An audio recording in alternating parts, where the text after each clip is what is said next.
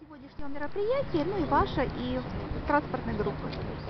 Э, Цифровая прокачка – это э, формат, новый формат э, мозгового штурма или стратегическая сессия, на котором участники от региона, от бизнеса вместе обсуждают текущие проблемы по отраслям деятельности, то есть в нам- в нашем случае это транспорт, обсуждают проблематику и определяют, э, какие под- подходы нужно сделать для того, чтобы эту проблематику решить, а, для того, какие решения цифровые нам помогут, потому что значит, сейчас достаточно просто подобрать решение либо платформу а, и определить направление развития на а, краткосрочный период, там несколько лет, и на среднесрочный, долгосрочный до 24 и после.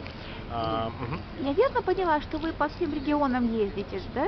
Да, мы ездим по всем регионам. В прошлом году мы шесть э, прокачек таких сделали. Прокачка это на самом деле больше такое как бы э, жаргонное слово. Вообще в целом это такие мозговые штурмы. Это формат, когда бизнес не отдельно встречается с представителями госорганов, а это обычно э, каждая отрасль э, в своей рутине погружена, и очень сложно вырваться из этой рутины и посмотреть стратегически э, в периоде более долгом, более стратегическом, как же это могло бы развиваться, используя